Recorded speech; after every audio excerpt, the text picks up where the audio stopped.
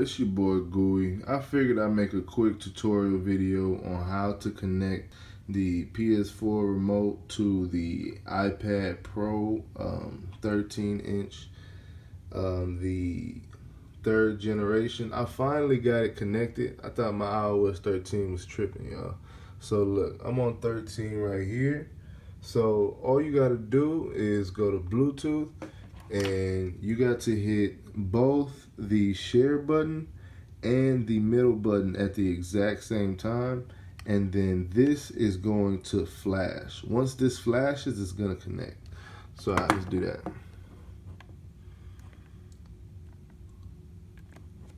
See how it's flashing?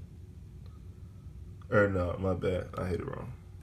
Oh yeah no here we go Let's see. Wireless, would you like to pair with your iPad? Pair. Boom. And so once you connect it, your controller is going to turn red.